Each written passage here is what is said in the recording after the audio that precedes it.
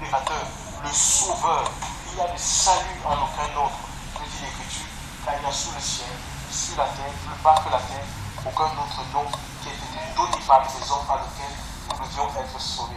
C'est Jésus qui délivre du pouvoir du péché, de la puissance même du péché, le péché spirituel. Alléluia. Et l'Église a besoin de connaître cette délivrance. C'est pour cela que Christ a donné sa vie à Golgotha. Il est allé à la croix. Ce n'est pas pour que nous ayons une, les Mercedes. Il n'est pas allé à la croix pour qu'on ait des villas. Il n'est pas allé à la croix pour qu'on ait des comptes remplis. Ce dont nous avons besoin, c'est d'être remplis de l'Esprit Saint.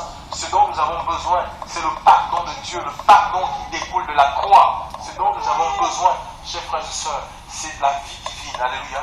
La vie de Dieu en nous. C'est la paix, c'est la joie, c'est la justice par le Saint-Esprit. Que le nom du Seigneur soit béni. Si tu entends sa voix, il n'y a pas d'âge pour quoi. Pas que vous êtes. Dieu a la capacité d'ouvrir notre intelligence pour recevoir